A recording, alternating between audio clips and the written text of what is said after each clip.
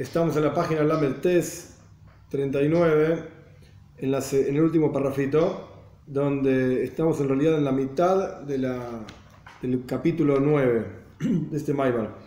Lo que estamos viendo acá, en este capítulo el Rebbe planteó la idea de que hay una diferencia entre la aceptación del pueblo judío de Toiro Mitzvahs, que ocurrió por supuesto en Matan Toiro, en la entrega de la Torah, con la aceptación de, la Toiro Mitzvahs, como ocurrió en la historia de Purim. Pero incluso cuando uno profundiza un paso más, en la historia de Purim mismo hay dos etapas.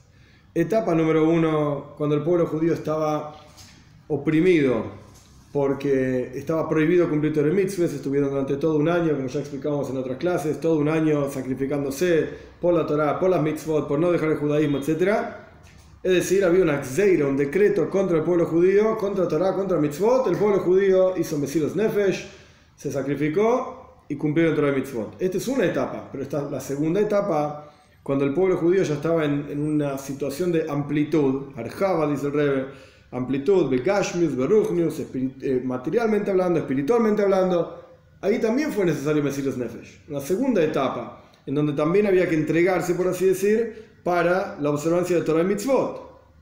Pero, ¿cuál era la, herramienta, digamos, para llegar a la esencia, para entregarse por Torah y Mitzvot, si no hay nadie que te lo impida? ¿Qué significa Mesiras Nefesh? ¿Qué significa entregarse, etcétera? Entonces el Rebbe explicó, Kosis Lamoer, cuando uno está prensado, oprimido por el hecho mismo de que estamos en exilio. No por otra razón, no porque alguien te impide cumplir Torah Mitzvot. Está, está permitido andá, sé feliz, ponete feeling, ponete un tales, estudia Torah. Pero el problema es que estamos en Golus. ¿Qué significa estar en Golus? Ahora vamos a ver más detalles, pero significa que no hay revelación de la presencia de Hashem. O porque no lo vemos con los ojos de carne y hueso, como está escrito, que los ojos, toda la carne, carne literalmente va a ver que Dios habló. Pero ahora no lo vemos con ojos de carne y hueso y nos cuesta horrores sentirlo en el corazón, entenderlo con la mente. Reconocer que hay una presencia de Hashem en todas las cosas, nos cuesta. Y esto mismo tendría que generar que uno esté quebrantado. Entonces hay dos condiciones, digamos, dos opciones. O uno está quebrantado y se entrega a Dios, repitiendo para avanzar, y se entrega a Dios porque le prohíben cumplir Torah Mitzvot, y esto la persona siente la opresión que hay del medio, etc. Esta es la historia de Purim, la historia en Rusia, como el Rebbe mencionó, cuando fue dicho el Maimar, el discurso anterior, del, del Rebbe anterior, quiero decir. O la situación que uno está en Golus, estamos en el contexto del discurso en Estados Unidos, con amplitud, sin dificultades, en los años 80, no hay ninguna problemática para cumplir Torah Mitzvot. Sin embargo, hay que estar quebrado, quebrantado por el Golus, por el exilio. ¿Estamos? Esto fue lo último que vimos en la clase pasada. Y el Rebbe mencionó, y esto es lo que va a explicar ahora, que el segundo concepto es muy superior al primero. El hecho de que uno está oprimido, eh, se siente eh, quebrantado porque estamos en Golus, permite que uno llegue a la esencia de su propio alma en forma mucho más profunda del hecho de que alguien externo lo oprime a uno y le prohíbe cumplir la mitzvot. La explicación es así. El hecho de que el pueblo judío está quebrantado porque estamos en exilio. Incluso si tenemos amplitud material y espiritual, ¿por qué estamos quebrantados?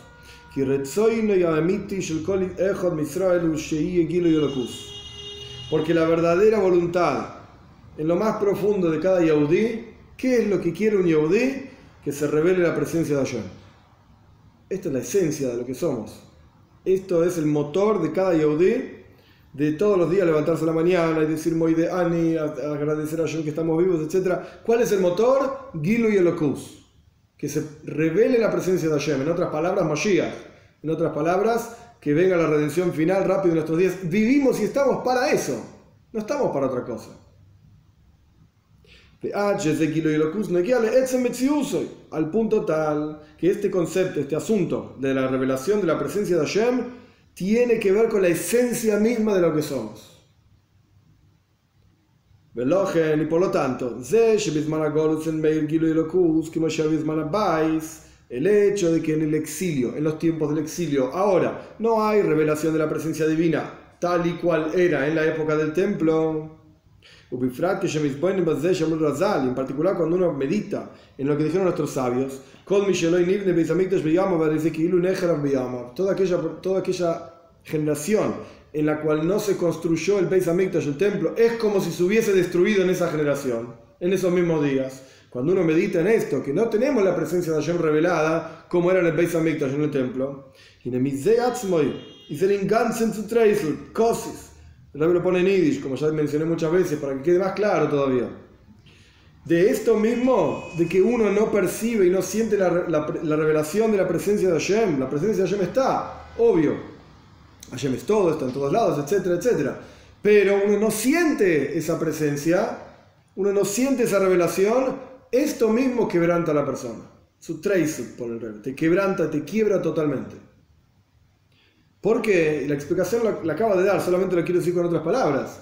Si toda tu razón de ser, tu existencia es la revelación de la presencia de Dios, y eso no está, pues esto te quiebra, te rompe, entonces, ¿qué soy? ¿Para qué soy?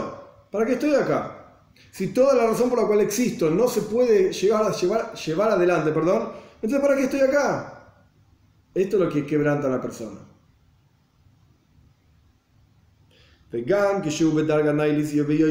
E incluso cuando uno está en, un nivel espiritual increíblemente elevado, y ahí pasamos de página, que en la, en la vida de esta persona estar de esta persona, perdón, está revelada la presencia de Hashem. Incluso similar a la revelación divina que había en la época del Beis. Estamos hablando de un tzadik, un tipo que vive espiritualmente hablando en las alturas y él siente a Dios y él percibe a Dios y él, entre comillas, lo ve. Mikol Sin embargo, vivimos en Golos, estamos en exilio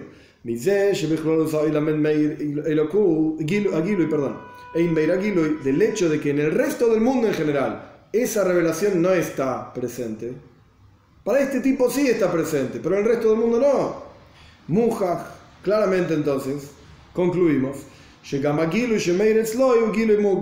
que incluso la revelación divina que vive y siente esta persona es limitada del hecho de que no lo tiene todo el mundo, lo tiene solamente esta persona, significa que lo que esa persona tiene no es el tajlis, no es el final, no es el, eh, la revelación absoluta y completa.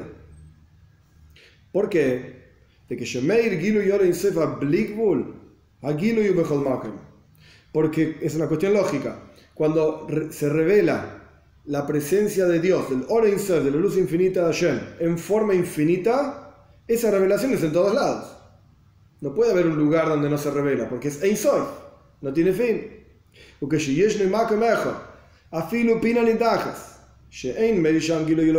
Y cuando hay un lugar, incluso si es un lugar totalmente apartado, una esquina en la punta del mundo, donde ahí no está presente, no está revelada la presencia de Hashem, no está revelada la presencia de Hashem, presente está, pero no está revelada, es porque la revelación cambia a Mokem Shumeir, incluso donde sí ilumina esa revelación, un Gilui Mukbal.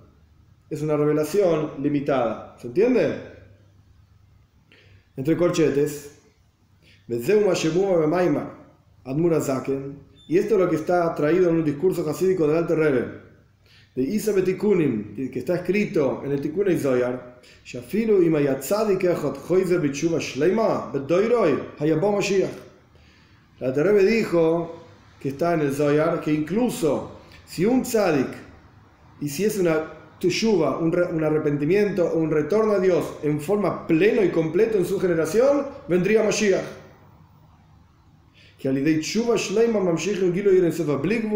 porque a través de una plena y completa chuva, entrega a Dios, retorno a Dios, etc., se revela la luz infinita de Hashem, que es, valga su nombre, valga la, redundancia, infinita, Blikbul, Gilo y y esta revelación es en todos lados. El rey pone esto entre corchetes honestamente, quizás ni debería decirlo, tendría que seguir adelante y otra cosa, ¿para qué meterme en problemas? Pero honestamente, este corchete yo nunca lo entendí. Nunca lo entendí.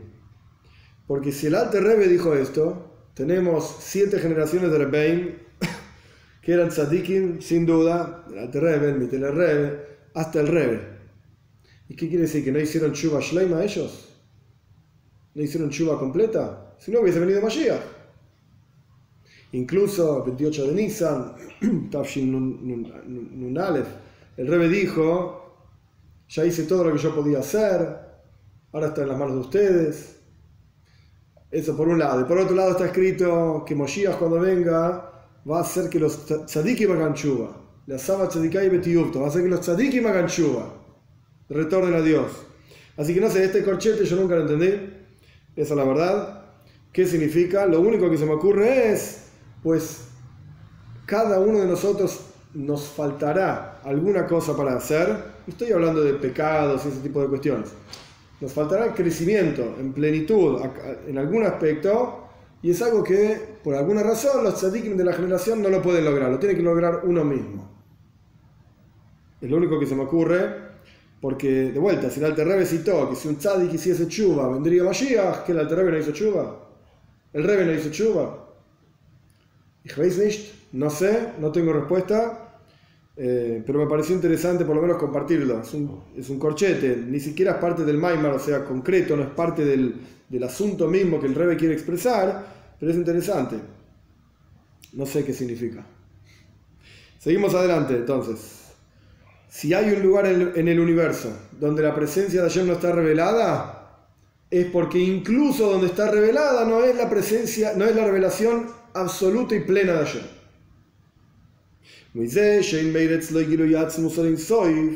Volviendo al, al Yehudi común y corriente, no al Tzadik, que el tipo tiene, siente esa revelación, sino que no lo siente el hecho mismo de que un, en, en, uno mismo no está revelada esa revelación, no ilumina esa revelación de la esencia misma del Lorenzo, de la luz infinita de Hashem, un Nishbal Benit que cosis, Esto genera que uno esté quebrantado. El hecho mismo de que no está la presencia de Dios revelada, esto nos quebranta. Porque de vuelta, esto vuelve al comienzo del párrafo, en la página anterior, que la esencia del Yehudi es esta. Y si esto no está, pues entonces, ¿qué soy yo? ¿Para qué estoy acá? Galdera es otro cochete. Galdera esto es muy interesante. La palabra joile en hebreo quiere decir enfermo. Una persona enferma. Cuando vos sumás las letras de la palabra joile, te da 49. Memtes. Y es yadu, es conocido. Incluso cuando uno capta y entiende 49 portales de entendimiento, así está escrito que hay 50 portales de entendimiento, y el pueblo judío en Mitzrayim, en Egipto, estaba hundido, en los 49 portales de impureza, y Hashem los sacó, y a través de Sfiras a Oimer, la cuenta del Oimer, que son 49 días entre Pesach y Shavuot, nos elevamos a 49 portales de comprensión de Hashem.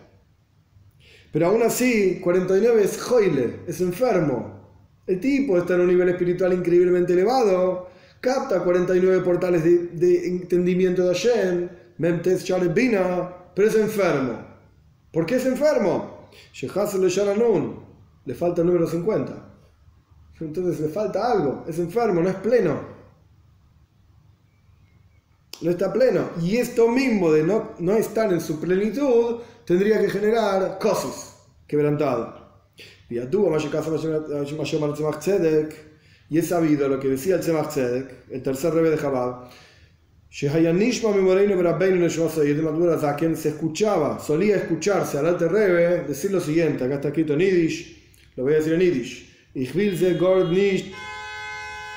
no quiero, la, la bocina no es de Yiddish, no quiero nada, el Alter Rebe. Ich will nicht no quiero tu paraíso, ich will nicht no quiero tu mundo por venir, Jule, etc. Ich will. Solamente te quiero a vos, decía el terreno. Obviamente hablando de Dios.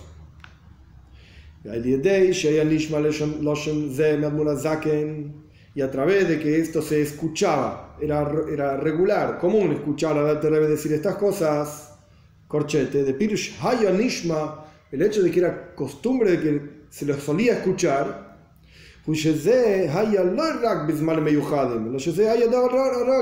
no es que alguna vez el Alter dijo esto. Si la expresión es solemos, solíamos escuchar al Alter decir tal o cual cosa, es porque lo decía muchas veces, no en algún momento especial. Ubifrat, y en particular, a través de que esto se publicó, se hizo, se hizo sabido a través del Tzemach Tzedek, del tercer rebe de Chabad, fue dada la fuerza a cada Yehudi, que su principal voluntad sea la revelación de la presencia de Hashem, la revelación de la esencia misma de Hashem. El Rebe dijo hasta acá que el Yehudi es Gilo y Elokus, el Yehudi es la revelación de la presencia de Hashem. Pero uno se puede preguntar a sí mismo, ¿de dónde voy a sacar yo fuerzas para hacer una cosa así? Puedo cumplir mitzvahs, puedo estudiar toira, pero ¿quién soy yo? Si incluso para un tzadik, en, a quien sí, en quien sí está revelada esta cuestión, él tampoco está pleno, dice el rey. Porque si no está en el resto del mundo, él no está pleno tampoco. Yo, ¿qué querés de mí? Entonces el rey explica que a través de que el Alter Rebbe dijo, y nosotros lo escuchamos, si era algo común, y esto fue publicado a través del Tzemach que el Alter Rebbe dijo, que yo lo único que quiero es vos, a tú, no sé cómo se dice, que quiero a vos nada más. Esto lo único que quiero es a ti. A ti, gracias. Esto le dice Argentina, ¿qué va a hacer? Hablamos así. Esto le da fuerza a cada Yehudi para que este asunto esté presente y revelado en su propia vida. Que lo único que quiera sea la esencia de Hashem. Vea que de y al punto tal, que cuando no siente no está iluminado esta revelación, la persona no siente esta revelación,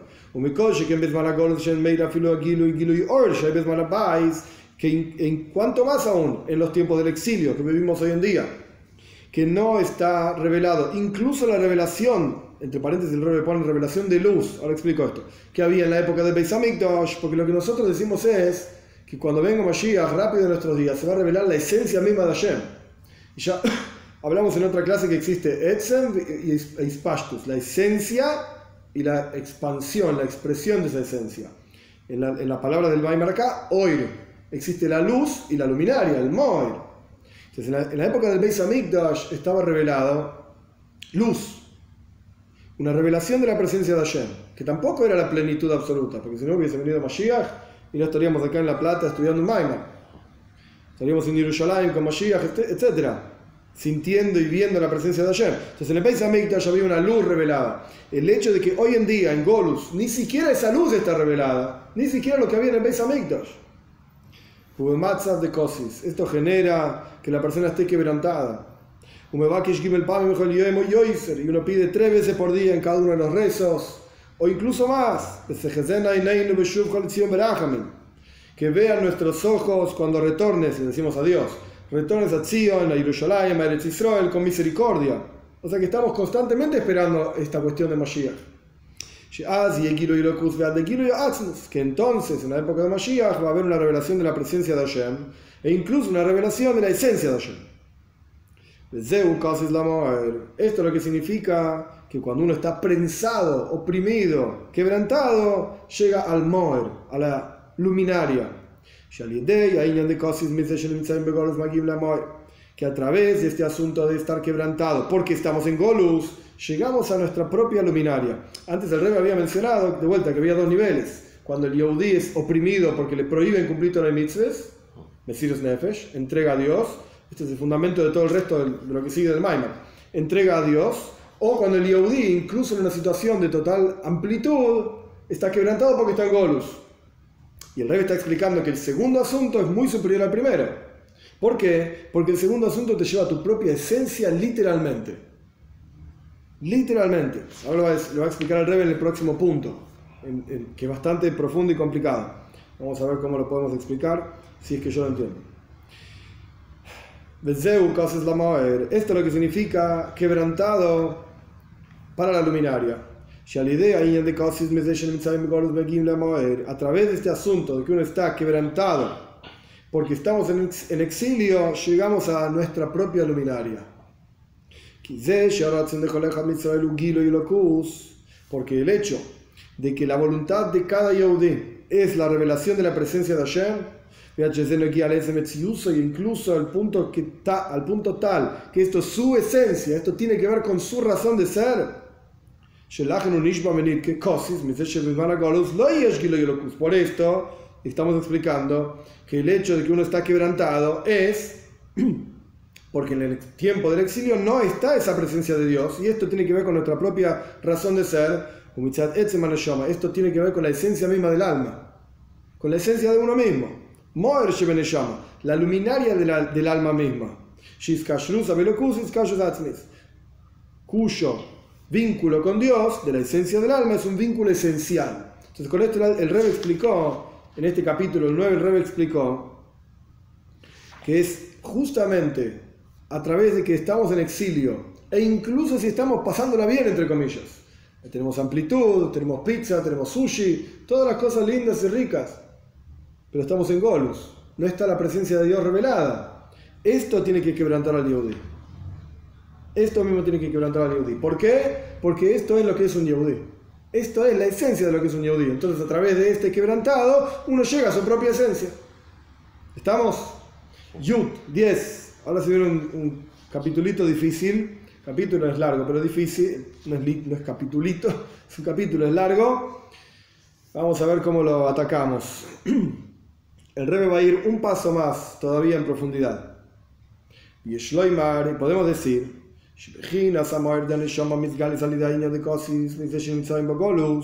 este asunto de la luminaria del alma, que se revela a través de que estamos quebrantados porque estamos en Golus, en exilio, es superior todavía a la luminaria del alma que se revela a través del sacrificio. Hasta, hasta ahora, el rey estuvo explicando ampliamente que el pueblo judío en la historia de Purim, el sacrificio que hicimos, y el rey explicó de dónde salió ese sacrificio, porque había dos puntos en, en, Emuna, dos asuntos de la fe, que Moishe Rabbeinu sustenta esa fe, nutre esa fe. El primer asunto era que el alma ve a Dios. El segundo asunto es que el alma tiene un vínculo esencial con Dios. Y estos asuntos generaban Mesirus Nefesh, entrega por Dios, ambos. Tanto el, el hecho de que el alma ve a Dios, como el hecho de que tenemos un vínculo esencial con Dios. Pero la diferencia era que si uno se entrega a Dios porque el alma ve a Dios, eso no genera que uno se entregue a Dios en todas las situaciones en todas las situaciones. No. Y como el ejemplo clásico, el ladrón antes de robar pide ayuda a Dios, tiene fe, su alma ve a Dios, pero esto no genera necesariamente que la persona haga Mesirus Nefesh, no necesariamente. ¿Estamos? Esto es lo que el rey explicó hasta acá.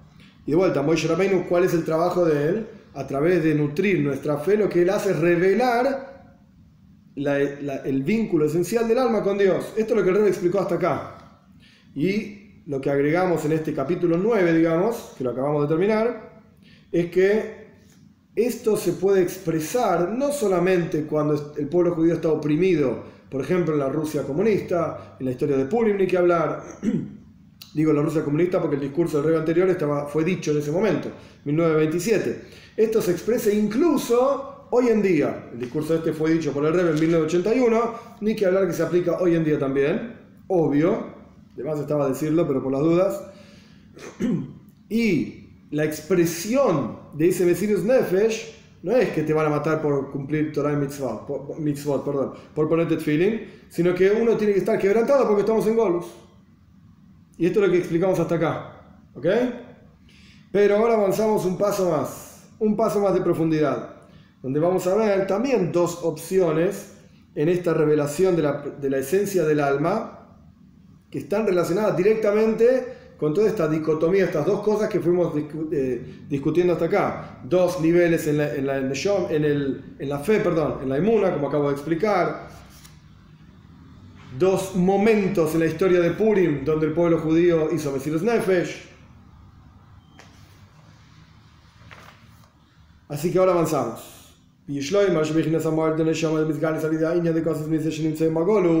Podemos decir que el hecho, esto ya lo dije, lo repito, el hecho de que el, nivel perdón, de la luminaria del alma que se revela por el hecho de que estamos en Golus, estamos quebrantados porque estamos en exilio, es muy superior al nivel de la luminaria del alma que se revela a través de Mesirus Nefesh. A través de Mesirus Nefesh.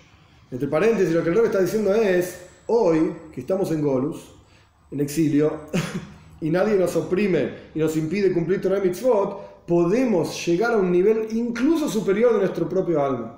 Que lo que podían llegar los Yehudim, ni que hablar en el templo de Beis HaMikdash, sino también incluso en los tiempos en que nos oprimían y nos prohibían cumplir Torah Mitzvot. Hoy hay mucha más fuerza que antes. ¿Por qué? Y ahí no. Y la idea es así.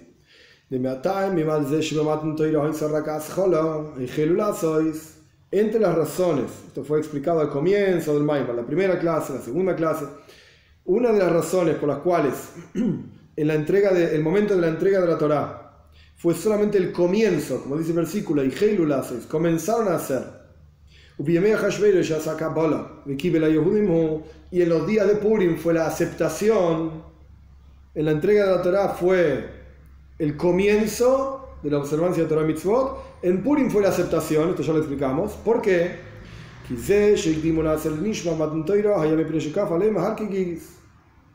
Y esto también ya lo explicamos, porque el hecho de que el pueblo judío en la entrega de la Torah dijo, primero vamos a hacer y después vamos a entender por qué fue así. Porque Dios agarró el monte Sinai y lo puso arriba del pueblo judío y les dijo, muchachos, si lo aceptan bien, no aceptan Shante ahí los voy a enterrar. O sea, en términos hasídicos, en términos del Talmud así solo como suena, parece como que Dios nos amenazó. Pero en términos hasídicos, el Alterrebe explica en, diferentes lugares, el Alterrebe explica que Dios mostró un inmenso amor por el pueblo judío, y entre comillas ese inmenso amor forzó a que nosotros aceptemos la Torah. Esto significa, en términos más y más sencillos, Gilu y una revelación de arriba, algo que vino de arriba. Es verdad, nosotros lo aceptamos, pero esa aceptación fue solamente el comienzo de la aceptación, porque fuimos, entre comillas, forzados. Y por el otro lado, en los días de Hashveirish, en la historia de Purim, la aceptación de Torah Mitzvot fue por nosotros mismos. Nadie nos forzó. Esto es lo que estudiamos incluso al comienzo del Maimar también. Y podríamos decir,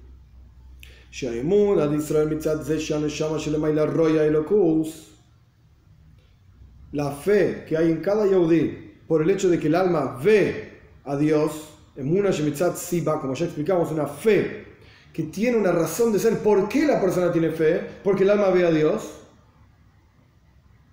Automáticamente va a cumplir Mitzvah. Si el alma lo está viendo a Dios, eso tiene un efecto en la persona. Esto es similar, el rey acá está poniendo cada cosa en su lugar. Ahora lo voy a explicar. Lo leo, leo tres, cuatro líneas más y explico. Es similar al concepto de que el pueblo judío precedió haremos y después dijo escucharemos, entenderemos, en la entrega de la Torah, que fue, como dijimos anteriormente, una revelación de arriba. Y el hecho de que en los días de Hashveirish la aceptación fue por motus propio, por motivos propios, es porque entonces, en la época de Purim, se reveló la unión que el Yehudi tiene con Dios, que surge desde la esencia del alma. No porque el alma ve a Dios, sino desde la esencia del alma misma. Una, un vínculo esencial que es la, razón misma de ser del Yehudi. En otras palabras, antes de avanzar, como yo dije antes al comienzo, antes, antes de empezar con este capítulo, el Rebbe habló de dos niveles de emuna, dos niveles de fe. Nivel número uno, el hecho de que el alma ve a Dios. Nivel número dos, el vínculo esencial entre el Yehudí, el alma y Dios. Entre el alma y Dios. Y después el rey habló de dos momentos. El momento de la entrega de la Toiro y el momento de Purim. E incluso dentro de Purim también habló de dos momentos. En el momento de la Xeira, del decreto, y el momento después del decreto. ¿Estamos? Y el rey habló de dos movimientos, digamos, que esto genera en la persona. Mesir Nefesh, la persona se entrega a Dios. Y Kosis Lamoer, la persona está quebrantada por el Golus, por el exilio. Y esto lo hace llegar a su propia esencia. Entonces el rey acá está vinculando una cosa con la otra. Conectando, digamos, una parte del Maimar, el comienzo, con lo último que explicamos. lo que el Rebe conectó es, ok, ¿por qué el pueblo judío en la entrega de la Torah dijo Naseben Ishma? ¿Por qué dijeron haremos y escucharemos? ¿O entenderemos? Porque Dios los forzó. Es como si dijésemos que el alma estaba viendo a Dios. Esa es la emuna, la fe que genera en el Yahudí el hecho de que el alma vea a Dios. Entre comillas es algo que viene de arriba. Pero es algo que fuerza, entre comillas, como Dios agarró el monte Sinai y lo puso arriba del Yahudí, fuerza, por así decir, en el que tenga fe. ¿Estamos? Y esto genera Mesirus Nefesh. Esto genera que la persona se entregue a Dios en la práctica.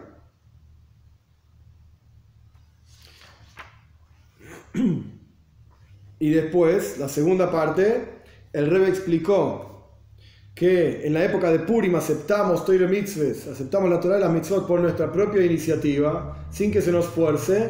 Esto está relacionado con el nivel de fe que simboliza, que significa el vínculo esencial que tiene el alma con Dios. No porque ve a Dios, porque en ese caso el alma es una cosa, Dios es otra. No. Hay un vínculo esencial irrompible, que es la esencia misma de lo que es el Yehudi. Ese vínculo. Y ese vínculo después fuerza, como yo decía antes, del Maimar, que el Yehudi quiera y desee en forma constante, desde lo más profundo de su corazón, Gilu y Olokus, que se revele ese vínculo, que se revele a Dios aquí abajo en la tierra. Estamos, entiende como el Rebe conectó una cosa con la otra. E incluso también el Rebe había traído, y esto está directamente relacionado, por eso es interesante ir viendo cómo avanza en el Maimar, el Rebe explicó que había dos explicaciones de Raya Mehemna, la expresión de Moishe Rabbeinu. Moishe es una forma de entender es el fiel pastor, que se ocupa de cada Yehudi, etcétera, etcétera. Y el otro es pastor de la fe. Habíamos dicho eso, pastor de la fe. Y estas dos expresiones son la misma idea. El fiel pastor está relacionado con el primer nivel de emuna, de fe. En donde el Yehudi, ¿por qué tiene fe? Porque ve a Dios. Su Neshama ve a Dios su alma ve a Dios. y el segundo nivel de Raya Mehemna, que, Dios, que Moishe Rabbeinu sustenta y hace crecer la fe, es que revela el vínculo esencial del Yehudi con Dios. ¿Estamos? Bien. Ahora bien, ¿qué diferencia hay? ¿Qué diferencia hay? ¿Y cómo sabes cuál es superior? Si el hecho de que la Neshome genera el hecho de que, perdón, se revela la, el moir, la luminaria de la neshome, del alma, porque la persona hace Mesirus Nefesh, o porque la persona es Kosis la moir, o sea, está quebrantado por el Golus. ¿Cómo comparamos una cosa con la otra? Que esto es lo que va a hacer el Rebe ahora. Esto es lo que va a hacer el Rebe ahora. Sin duda, el Rebe ya explicó, en términos generales, que es lo que acabamos de hacer, el Rebe explicó que cuando la revelación viene de arriba, y esto lo hemos charlado también en muchos discursos, muchos Maimorim, muchas clases, en donde no es lo mismo cuando uno aprende algo porque se lo dicen, o cuando uno llega a la conclusión de esa cosa por sus propios medios. Es mucho más profundo el efecto en la persona cuando uno llega a la conclusión por sus propios medios. Obviamente uno, uno necesita una guía, porque si uno se equivoca en algún punto de la, de la, de la deducción lógica, uno llega a una conclusión totalmente errónea, etc. Entonces uno necesita una guía, pero una vez que un marco. esa conclusión es de uno. Esa conclusión es propia, correcto. Entonces, cuando el pueblo judío recibió la Torah en el monte Sinai, no era nuestra propia conclusión, era la conclusión de Dios, forzando al pueblo judío. Cuando nosotros en Purim aceptamos la Torah, era nuestra propia conclusión, por así decir. Nuestro propio asunto. Por eso es superior cuando la persona está quebrantada por el Golus por el exilio, llega a un nivel muy superior de la Neshome, que es el vínculo directo que tiene el alma con Dios. Eso es superior, eso es superior a la, a la luminaria de la Neshome que se revela a través de Mesiros Nefesh, a través de la entrega total por Dios. Pero ahora el ir un paso más, más en detalle. Y hoy más en detalle podemos decir lo siguiente. Incluso en la revelación de la esencia del alma, o sea, cuando se revela el vínculo que hay entre Dios y el pueblo judío, o la luminaria, digamos así, del alma, hay dos niveles, por así decir, dos niveles.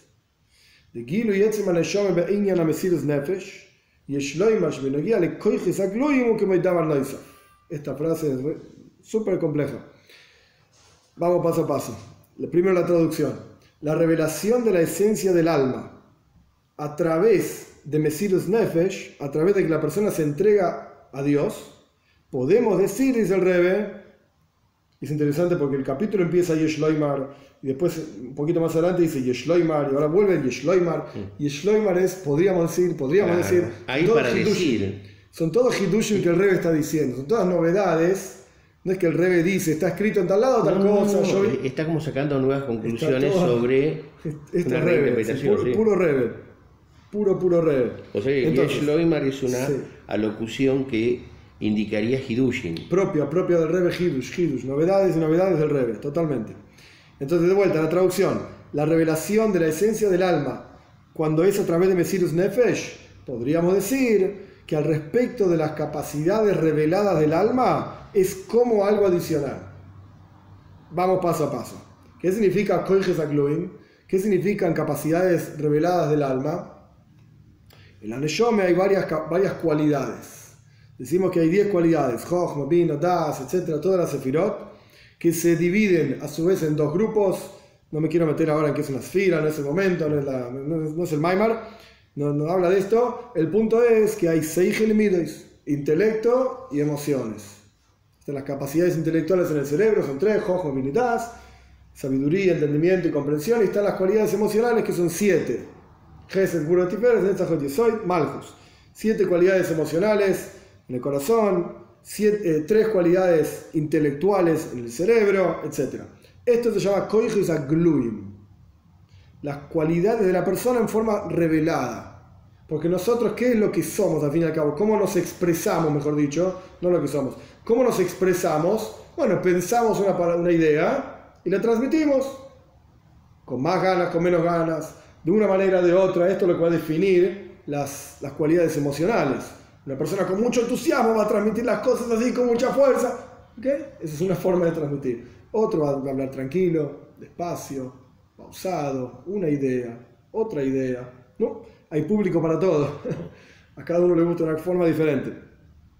O la persona va a buscar si expresó la idea de una manera y esa idea no se entendió, no llegó al otro, porque va a buscar un ejemplo y después va a buscar otro ejemplo y otro ejemplo hasta que logre, sea victorioso, este es el concepto de Netzach, logre totalmente que su mensaje llegue. Bien, todo esto se llama... En hermenéutica se llama que logre la fusión de horizontes, que el horizonte de uno lo alcance al otro. Bien, esto se llama Netzach en, en victoria. Todo esto se llaman Koiches Agluim, capacidades reveladas de la persona. Incluso Ratzoin, la voluntad de la persona, también es un Koyach Golui. También es una fuerza revelada en la persona porque de acuerdo a la voluntad de la persona, el, cerebro va a pensar de una manera determinada y las emociones automáticamente van a sentir y desarrollarse de una manera determinada, de acuerdo a lo que la persona quiere. Cuando uno realmente quiere una cuestión, quiere entender un asunto, etc., pues va a buscar desde lo más profundo de su intelecto la capacidad para entenderlo. Ay, me van a decir que hay gente que no puede capaz de entender, etcétera, etcétera. Pastus, podemos decir claramente, sencillamente, perdón, que no es lo mismo la capacidad de la persona, espiritualmente hablando, que su capacidad material física. Si el CLI, el recipiente, cerebro, no funciona, pues esta persona no va a entender nada a pesar de que tenga la capacidad. Ejemplo sencillo, un ciego puede tener un hijo que ve. Ay, si este tipo no, ve nada, ¿cómo puede ser que tenga hijos que ven? Porque está la capacidad de visión de la del alma, esto está pleno. Y está el cli, el recipiente, que en este caso es el ojo, que no es capaz de, ver la persona porque no funciona el recipiente. Pero la capacidad del alma está igual. Y puede ocurrir que una persona que es un tremendo tonto tenga un hijo que es muy sabio. ¿Y cómo puede ser? bueno, incluso nuestros sabios dicen, es superior incluso la capacidad del hijo que la capacidad del padre. Porque puede ser que el hijo revele más capacidad interior de su propio alma que el Padre. Entonces, todo esto son códigos Akluim. Estas son las capacidades reveladas de la persona. Ahora bien, el Etzeman la esencia del alma, es por así decir el núcleo, la base de cada una de las fuerzas y capacidades de la persona. ¿Estamos? Bien. Entonces, vamos a volver a la frase. Que el Rebe pone en dos lugares diferentes, subraya, por eso es una frase compleja también. Gilu y Ahora va a dar un ejemplo del Rebe muy práctico, muy interesante. Pero yo antes del ejemplo quiero que se entienda lo máximo posible, sin el ejemplo, y después el ejemplo se va a entender muy fácil.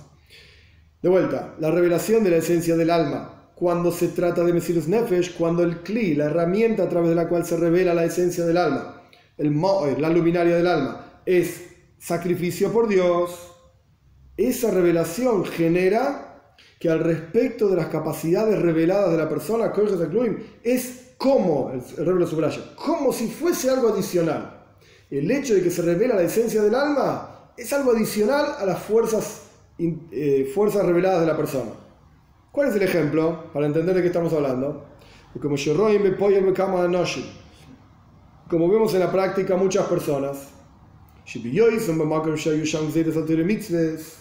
que estando en un lugar en donde había decretos contra la Torah y las mitzvot, no nos olvidemos que en el 81, cuando fue dicho el discurso, la Rusia comunista todavía era muy fuerte. Sí, hasta el 83 había persecución a Yehudim. Sí. En la Rusia de entonces. Entonces vivían muchos Yehudim en Rusia perseguidos con decretos contra Torah y mitzvot. Entonces, de vuelta, vemos muchas personas en la práctica que estando en lugares donde hay decretos contra la Torah de las mitzvot, entregaron sus vidas en la práctica durante muchos años, vivieron con sacrificio, cumpliendo Torah y mitzvot durante muchos años.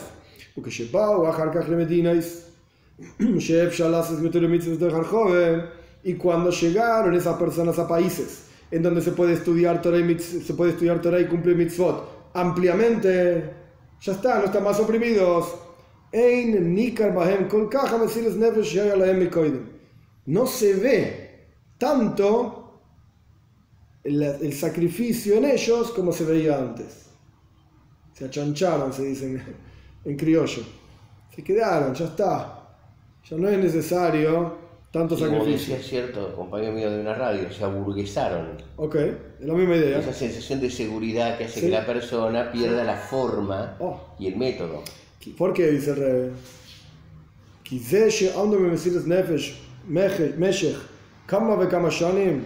Porque el hecho de que estuvieron sacrificando sus vidas durante muchos años,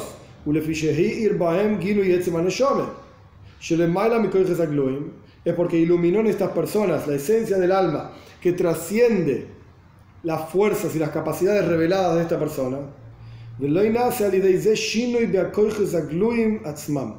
Pero no hubo un cambio en las fuerzas reveladas de esta persona mismas. Cuando se revela la esencia del alma, en lo que está explicando rey acá, cuando se revela la esencia del alma, es sobrecogedor y lleva por delante todo, pero no necesariamente cambia todo. Puede ser que cuando esa revelación se quita, por alguna razón, todo vuelve a su estado anterior. Esto es lo que está diciendo el rey. Cuando lo que lleva a que se revele la esencia del alma en Mesirus Nefesh, puede ocurrir que esa revelación de la esencia del alma no cambie a la persona, no modifique realmente a la persona. De manera tal que cuando esa persona vea que ya no es necesario sacrificarse por Torah Mitzvahs, vuelva a su estado anterior. ¿Estamos? Sí. Hay un corchete acá que es súper complicado, pero voy a, voy a saltearlo y después lo vemos.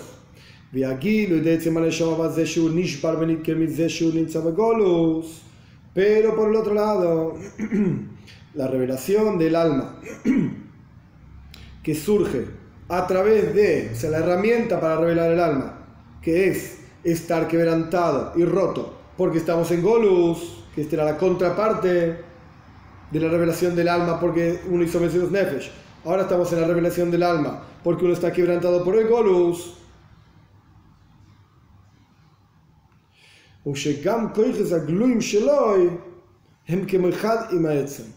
genera que incluso las capacidades reveladas de la persona, el intelecto, las emociones, su voluntad, etc., se vuelvan como uno con la esencia, sean modificadas, cambien. ¿Se entiende? ¿Cuál es la condición para que esto ocurra?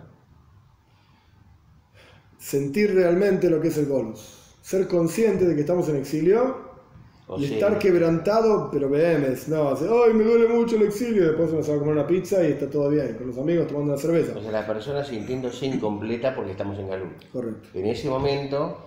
Ahí, esta es, la, este es el, la preparación, por así decir, para la revelación de la esencia del alma. Sí, sí, lo que anticipaba ayer el capítulo Y esto cambia, digamos, a la persona.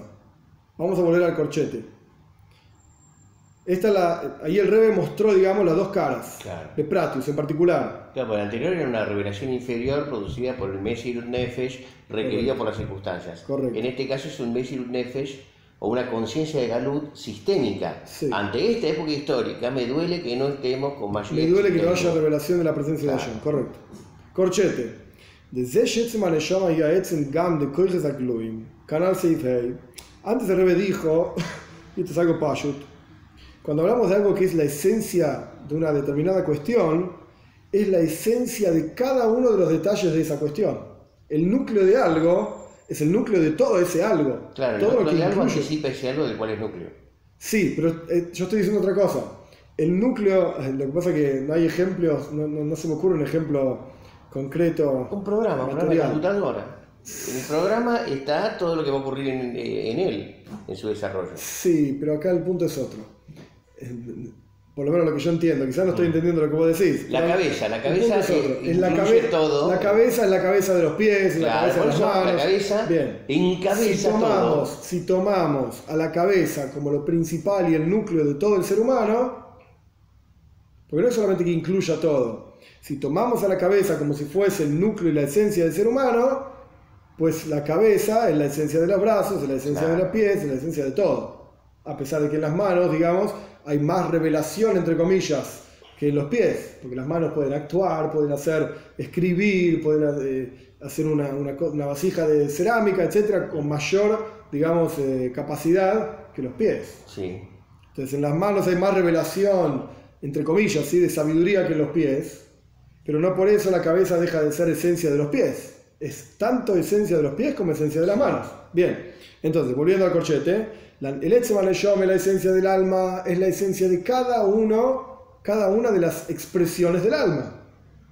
Todo lo que pase con el alma va a estar imbuido, lleno, bañado por la esencia del alma, incluyendo incluyendo el intelecto, incluyendo las emociones, etc. ¿Sí? Sí. Entonces, el hecho, volviendo al corchete, volviendo a la frase, el hecho de que la esencia del alma es la esencia también de las capacidades reveladas de la persona es esto significa que la esencia del alma, valga la redundancia, la redundancia, es la esencia de cada una de las expresiones del alma.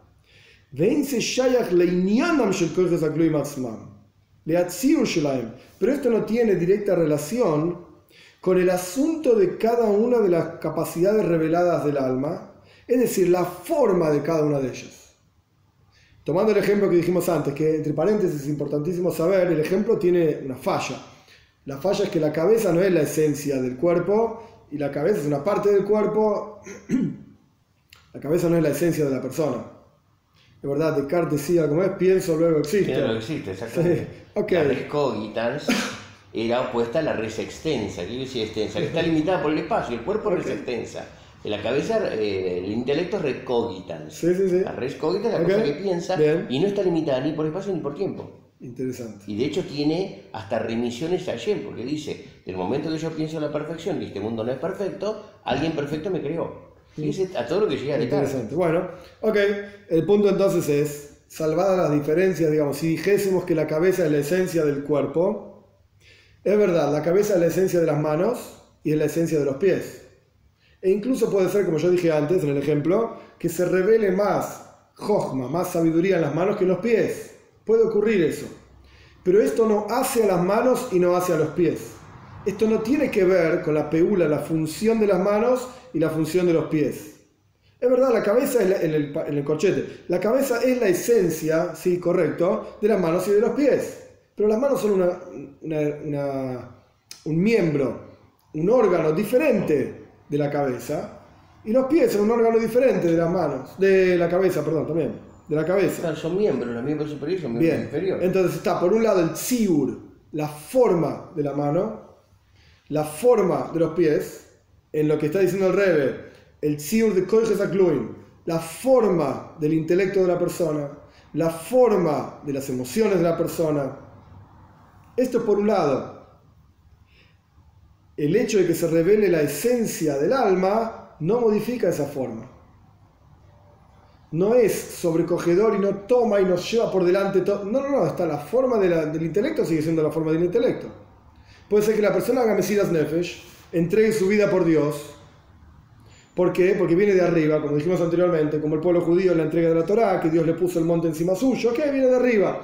La persona dice Mesías Nefesh, pero su intelecto sigue pensando que esto es una locura. Esto me llueve.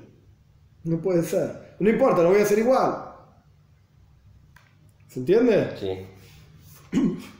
En términos emocionales, la persona sigue amando la pizza y el sushi, pero sabe que no lo tiene que hacer, por lo que sea porque ya comió demasiado, no importa, pero lo sigue queriendo igual. Su amor, su, sus ganas, ¿en dónde está? ¿En Dios? ¿En la Torah? Ah, ¿qué Dios y la Torah? Sushi, pizza.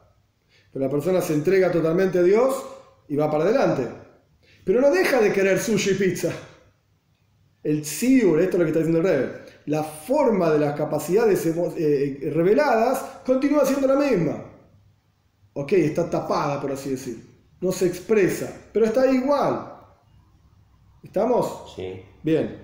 Esto es cuando aquella, la herramienta que lleva a la revelación de la, de la esencia del alma es Mesirus Nefesh. Ocurre esto. Las, capacidades reveladas de la persona continúan teniendo su propio tziur, su propia forma, nada más que la persona al entregarse se reveló la esencia del alma, no importa la forma que tiene el intelecto, no importa la forma que tiene las emociones, vamos para adelante, hacemos lo que hay que hacer lo que Hashem dice que hay que hacer. Pero el segundo paso es cuando la herramienta de revelación de la esencia del alma es Kosis Lamoir, que la persona está quebrantada por el Golus, por el exilio que vivimos. Ahí incluso el Tziur, la forma que toma el intelecto, la forma que toma las emociones, van directamente de acuerdo a cómo es la esencia del alma. Una persona que es consciente, esto es extremadamente complejo, pero esto es lo que está diciendo el, Rebe. La persona que es consciente en forma constante que está en Golus, piensa diferente, no porque fue forzado a pensar, diferente, porque se reveló la esencia del alma, lo agarraron la montaña y lo pusieron arriba de los judíos. No, su cerebro funciona diferente, sus emociones funcionan diferente. Esto es lo que está diciendo el Rebe. ¿Se entiende? Sí. Yo acá cuando leí el texto salté a propósito un paréntesis, lo voy a leer rápido, rápido de vuelta. Lo digo en castellano nada más. La revelación es la segunda parte, digamos, cuando la cuestión es que uno está quebrantado por el gol. O sea, la revelación de la esencia del alma, porque uno está quebrantado y roto, porque nos encontramos en exilio. Esto es lo que yo salté, a propósito, que de manera tal es tan sobrecogedor que no es que deja de lado el intelecto, deja de lado las emociones y la persona se sacrifica por Dios. No, incluso las, capacidades reveladas de la persona, intelecto y emociones, voluntad, etc. La forma que ellos toman, la forma de pensar, la forma de sentir, son como uno con la esencia. Están totalmente en, la misma dirección y totalmente alineados con la esencia de la Neyama. Vamos a seguir unos minutos más, así terminamos el capítulo. Y Shloimar, le podríamos decir, otro Hidush, ¿sí? Mm. otro más. Podríamos decir,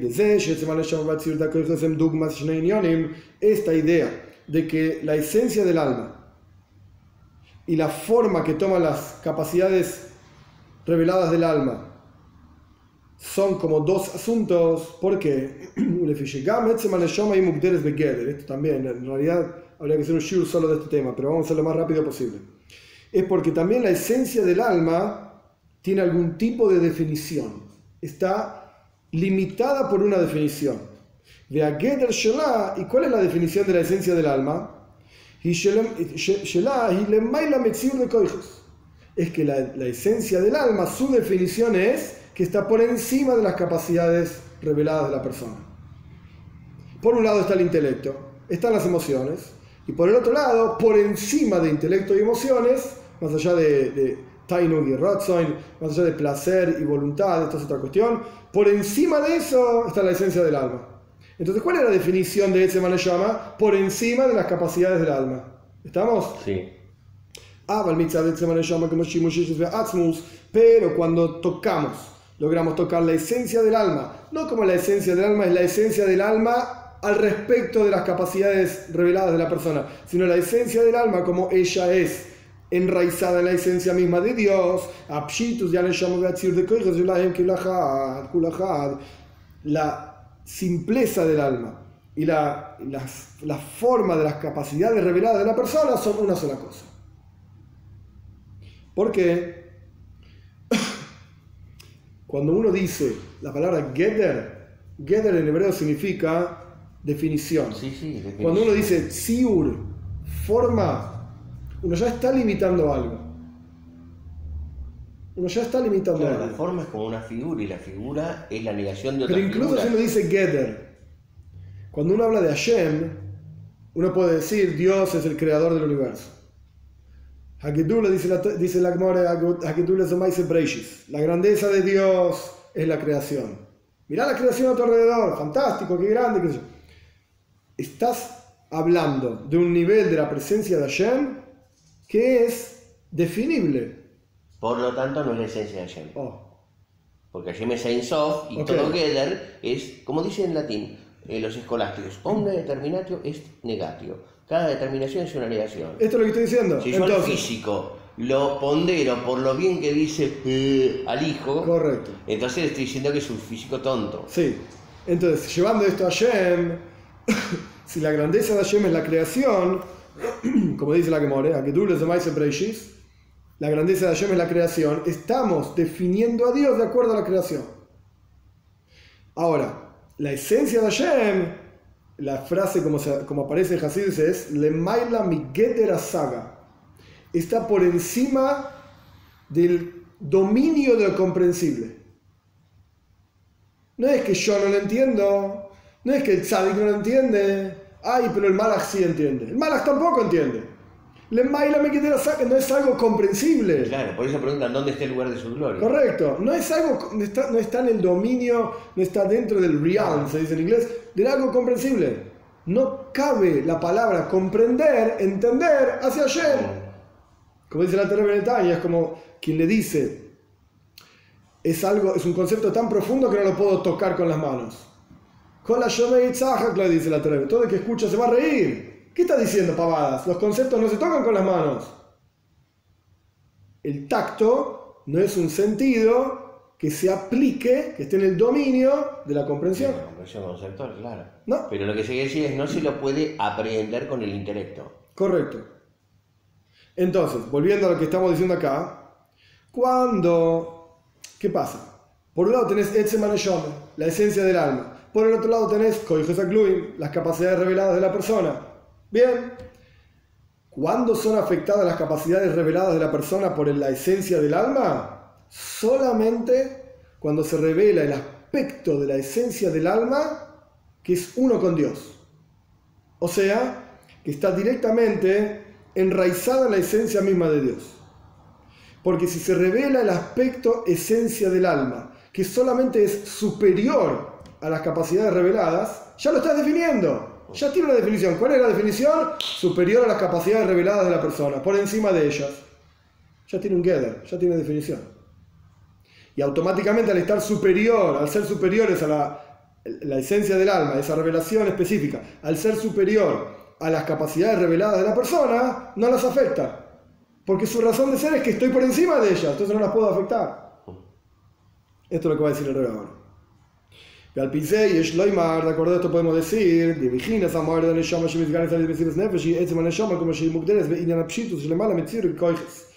Podemos decir que el nivel de la luminaria del alma que se revela a través del sacrificio de Mesiras Nefesh es ¿Qué se revela? ¿Qué parte de la esencia del alma se revela? La esencia del alma como está definida en su ser, simpleza, como por encima de las capacidades reveladas.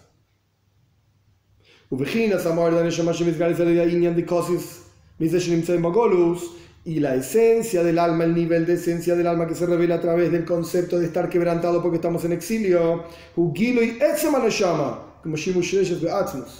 es la revelación de la esencia del alma, como esa esencia del alma está directamente vinculada a la esencia de Hashem.